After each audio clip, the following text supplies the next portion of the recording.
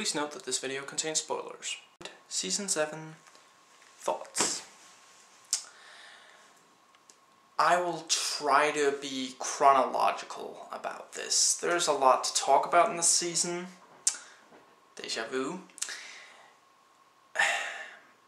I just gotta say, I do find it quite annoying that, you know, Barbas just dies very first episode, you know, at the climax, and after, you know, a bit of a struggle, but still just, and, you know, gone. It just feels anticlimactic, but I don't know, I guess we had seen about all, you know, it's like with Cole. You can only do so much with just one character, with you know, before you start repeating yourself. And we did, you know, he had a nice run. We got a lot of fun out of Barbas, especially in the sixth season. This season has some really bad episodes, especially early on. I guess whether or not you like Charmed is, you know, whether or not you like Pirates and you know, I guess they had just watched Pirates of the Caribbean. They even pretty much admit it. You know, they title drop it once and refer to it at least one other time in that episode. Once in a Blue Moon just doesn't make a lot of sense. It feels like they really wanted to have werewolves, but not have it be the entire focus of the story, or they couldn't figure out a way to have, you know, the other stuff that has to happen in that episode happen, you know, Leo getting possessed and all. So they just made up, hey, every 50 years the Charmed Ones turn into werewolves. Or they turn into wolves, I guess. I do quite like the, yes, I, I think the episode is Someone to Witch Over Me with the, the name exactly escapes me at the moment, but the demons who move extremely fast and you know who have those have those nice blades. Those are pretty cool. And that about brings me to the avatars. I know a lot of people don't like the whole avatar arc and storyline. I personally think, think it's one of the most interesting things in the entirety of the Charmed series with all the, you know, it's a question that has to be asked, you know, could it be done in another way? You know, does it have to be a battle between good and evil? And, you know, the avatars kind of do offer the alternative, you know, either there is a battle between good and evil, and you know, in the show it's quite literal, in reality it's, you know, the good and evil aspects of our, you know, human nature that have to struggle. You know, because you can't you can't be constantly like naive and just giving all the time. You have to also think of yourself sometimes. It needs to be a balance. You know, I'm not going to get too much into that now. And you know, the avatars present this alternative, which is you know no conflict whatsoever, basically, or at least you know once it gets to a certain threshold a dictatorship, you know, basic and I'm not going to get all political here, but this basically is, you know, China today. You know, you have the people basically just live with this you know, idea that everything is good, you know. And you know, if someone actually, you know, messes things up for other people, it's that one person. It doesn't, you know, cause, you know, some kind of revolt. You know, it's like they chose what the avatars, you know, just did. You know, you could almost call the avatars sort of like more invading communist regime kind of thing. You know, they just take over. You know, like most communist regimes. And just in general, the, the look and the style of the avatars I really love. Joel, I don't know, Swetow, I guess that's how you pronounce his last name. as you know Alpha is just awesome, you know, and this is they were briefly set up in the fifth season, you know, with Cole, and here we see more of them, and we have this kind of back and forth. Can we trust them? Can we not? You know, somewhat like with Chris in the sixth season, and as with Kyle Brody in the season, can we trust him? Can we, you know, not? And I really like that it's an actual arc. It takes place over several episodes. So much of Charmed is so confined to singular episodes, and there are a lot of limitations to having to fit the entire story into a single episode. You know, only the main cast remain the same, but really, in most of the episodes. And with the avatars, they actually set something up. They spend much of a season on this, you know, also with Brody and the whole Homeland Security, although the Homeland Security bit only really, you know, comes back at the finale, and I'll get to that in this video. The... And, you know, also Brody... I like him. He's... It has that kind of, you know, he just makes you doubt the avatars. And it's also just interesting to finally have a character who's so very defined by having been hurt by this battle between good and evil.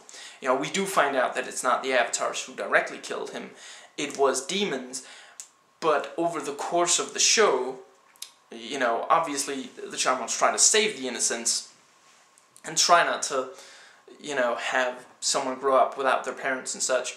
But here we have a character who did grow up without parents because of demons. And, you know, and it's somewhat realistically handled, actually. He, you know, talks about how people tried to reach out to him and he fought back. You know, he didn't just, because that is often what happens when, you know, you have to go through the system when you don't have your, you know, biological parents or at least, you know, good adoptive parents, maybe, from a very young age. And he just,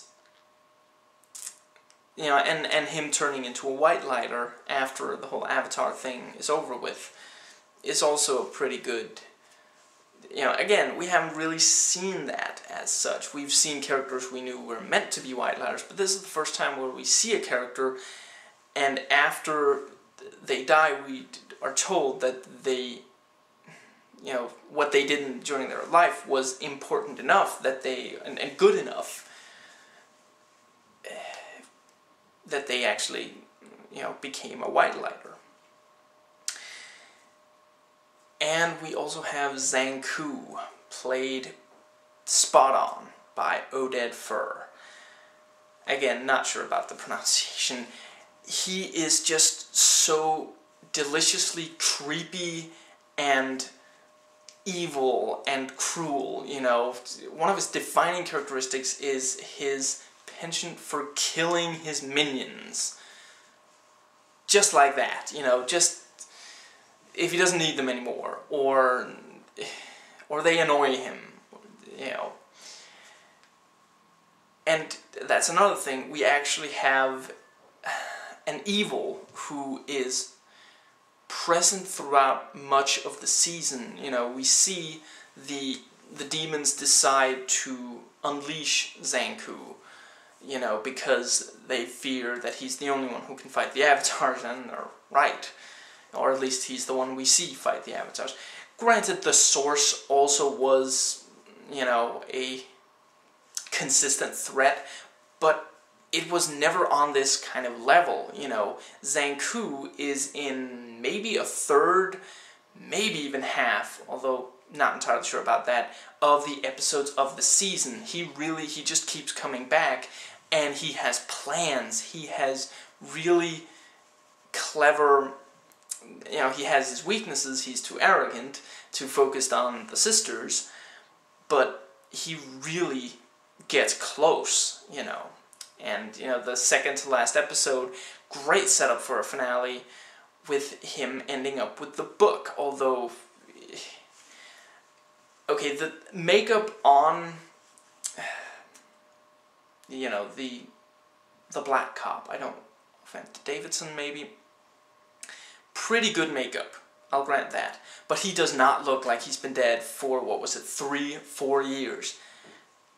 I'm sorry, there'd be more decay. I guess it was a budget issue or something. He, I like that they did bring bring back that actor, and he does a pretty good job of, you know, he seems really ticked off that he had to die, and he makes some com pretty compelling points. You know, you can tell why it really, you know, gets to the sisters and to Phoebe. Yeah, the white guy from the beginning of the episode, he really overacts once he dies. You know, I, I guess it killed his acting ability or his constraint.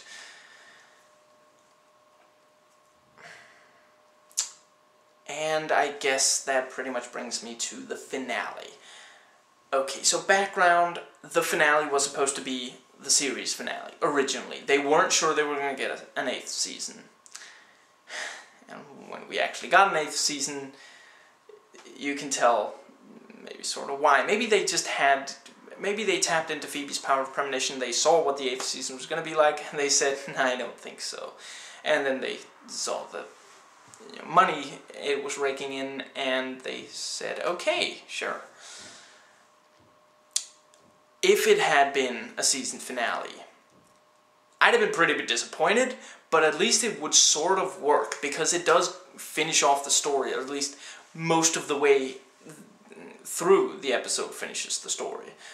Once the whole astral projecting thing comes in and he and they actually survive, I think the big problem is that it spends so much effort setting up this is it, this is the end. There have been other season finales where you maybe thought that was going to be the last. You know, if you if you were watching it or when it originally aired and you didn't know there were going to be more seasons, you might have thought this is going to be it. This is the very last episode. Clearly, they can't, you know, pick it up after that. But when you go back and rewatch those episodes, they still really work. I love the third season finale, and when you look at that, the ending of that really looks like it's gonna be just, there's not gonna be anything after that. Or at least, you know, you're left wondering how it's going to be continued. This one, you know, you have the, you know, they mention Quake, and wow, that was a long time ago, and they have the Prue thing with the astral projecting and everything. They have the will, they leave the children to, you know, their father. All of that it really sets up, you know, girls, I don't think we're going to make it out of this one. It so much sets up that it isn't going to continue, that when it does continue, it just feels sort of anticlimactic. It feels like we should have gotten an ending to the show, and then it just isn't. Now, as for why I would not have liked this to be, you know, if they had died and there hadn't been an eighth season, I would have thought it. I mean, I think it's a line of Phoebe's. If we die, the everything we fought for for the last seven years will be for nothing. And that's kind of how I feel about it too. If the Charmed Ones die, it's not that the battle between good and evil ends. It's not like Zankou's the last one. We thought the Source might be, you know, the big deal, and then it still went on for a long time after that. Yes, Zankou has been set up as a big demon throughout this season, but that's it. He hasn't been mentioned before. The source appeared over several seasons, you know, and reappeared. With Zankou, you know, it's not like they've even, you know, done that much damage to the underworld either. I mean, okay, Zankou has killed a lot of his own demons, but. And, you know, the Avatar thing did kill a lot of demons as well, but still, it's not like they can just... The battle between good and evil wouldn't end by the Charmed Ones dying. It's more likely that the evil side would just win. And that just doesn't... That's a fine ending for some things, but it doesn't fit with Charmed, not in the least. It's tonally all wrong. Now, with how it does end, they just kind of quit their jobs, don't they? You know, they're, they're like the protectors of the entire world, and they just quit their jobs. That's a really sucky ending. You know, it's like they should have kind of learned from the whole Avatar thing that there needs to be this battle between good and evil. You know, do they really think that everything's just going to work out fine without them? You know, have they forgotten about all the innocents they've saved, all the good that they've done? I don't know. Maybe the Avatar thing was supposed to set up that they really do want to stop fighting, but it just feels like, yeah, like I just said, they should have learned from that that you can't just up and quit. They're important, you know. If it had been that the nature of the battle changed somehow or something, if they went to the elders and demanded more assistance, you know, because they are so important, maybe, but just to quit. As a season finale, no, I, I just don't really see it. It just I don't know, I guess it does make me want to see the eighth season somewhat, but it feels like a bad way to do that, you know? It's. It doesn't feel like it closes off. You know, again, after all that setup to finishing like that, but. Yeah, I think that's it for this one actually scratch that. I'm not sure how I forgot about these episodes. Charmed Noir, one of my favorites of the entire series. I love the film noir genre, and it's just such a fun send-up of it, and sort of also works as an entry into the genre. You know, it's like with Scream. You have to respect and understand what you're making fun of and, you know, again, as with Scream, it's part also just an entry into it. You know, it isn't only trying to be funny, it's also trying to be dramatic. You know, there are scenes in it that really aren't funny as a parody of noir or some such, but they just really work as a noir kind of thing. You know, Brody getting beat up and Paige not being able to rescue him immediately, that's not funny that's just a kind of you know charm. It's it's a noir kind of thing. You know, you have this really bad situation with you know corrupt you know police. Uh, yeah, it it just that really works. I don't quite like Drake and his entire, you know, he has this three episode arc, which is really established from the first of them that there's only going to be those three. So the first one, he becomes, you know, Robin Hood.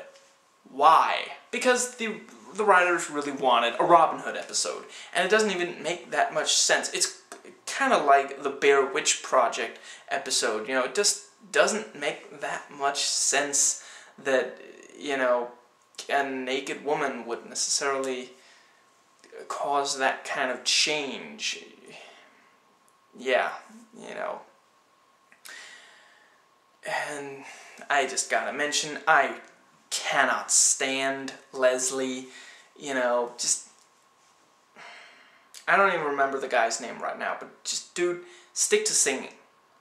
Dude, just go away. Just. No, no more. Okay, so the second episode of Drake show ghouls. At least we get David Anders for that one. And yeah, that dude is never not fun to watch. You know, it just. And the overall idea, I guess, is sort of okay of this kind of loop of, you know, it all you know, of the fire and David Anders wants to escape. But then you have to wonder why he's so bad at it. You know, he does such a poor job of, you know, hiding when he comes back. You know, he must have known that there were people, you know, expecting you know, that expecting Drake to behave a certain way and that he couldn't. Yeah, it just. And then we have the third one The Seven Year Witch with Cole's Return. I do quite like that because I can't think of a Cole episode that I don't at least like a little bit because it's Cole. It just inherently, I mean, even with the less compelling writing of the seventh season, uh, with the, you know, I mean, go back and rewatch like the third season, the fourth, the fifth. It's just more compelling dialogue and just better, you know, he's made to I don't want to say overact, but just the acting isn't as quite as credible. But it's still Cole, you know, and he still does a really good job. And it's such a good closure to the Cole character. You know, last time we saw him, you know, he died because he was obsessed with getting Phoebe to love him again. And he, you know, basically, I mean, he hated the other two sisters, and he also got to hate Phoebe because she couldn't love him. This time, he's had some years to think about it. Go to your room. And he's he's come back to a more sensitive and sensible kind of approach to you know he still loves Phoebe clearly and he accepts that he can't have love. That's like his punishment, you know, for the evil that he did do over the course of the series. But he doesn't want that to happen to Phoebe, and he sees her rejecting love. So he, you know, he has Drake try to, you know, awaken her love of love.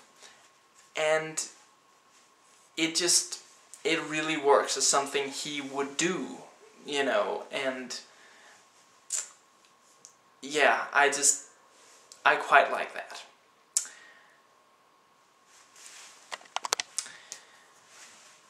About the avatars, clearly they had just watched the Matrix trilogy.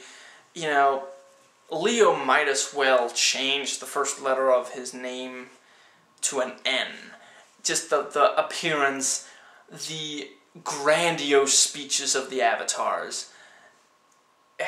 The, the whole look and yeah, quite clearly. And then we have, you know, other than that, we have at the in the season finale, you know, the power of premonition enables Zankou to, you know, have kind of an advantage in not the final battle, but a, you know, a showdown between them. Again, Matrix. So, yeah. Also, wasn't it established that Prue couldn't use her powers when she astral projected? Why can Paige use hers, you know, to... I just realized clearly that's not the astral... I guess, or they... I don't know. Maybe that was the real you know, charmed ones, and they just ran and they orbed into the manor, and then they astral projected back to magic school really quickly. I don't know, maybe, but could they even say the spell with astral project? I'm I'm asking here. I don't actually remember because it's been so long since I saw a witch astral project. It just it seems to me like that wasn't the case. Like they couldn't really. But anyway, then we have Little Box of Horrors, a decent enough uh, you know, rendition of the whole Pandora's Box story, and clearly they had just watched you know Daredevil or Elektra, yeah, with the whole, and man, what's her name, Kiara or something the smile, I, I think Julia Roberts wants, you know, the size of her mouth back. And Imaginary Fiends.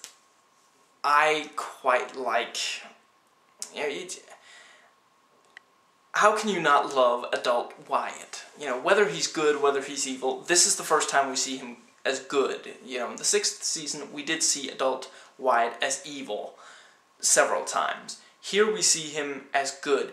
It's the same actor. He does a fantastic job still. You know, he, the acting is just phenomenal.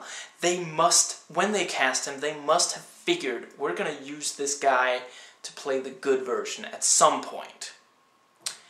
And had him do, you know, performances for both and had, you know,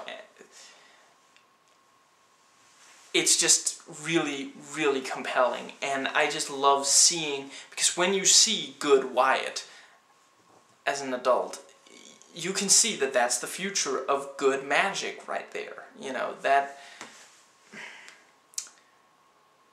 you can really believe that there is hope for the future with that as the and him then turning back into the evil Wyatt and you know he actually really nearly know, wins, I guess. And Leo, his father, is the one to bring him back out of it with the whole, the connection between a father and son. You know, even as evil, Wyatt is not strong enough to kill his own father.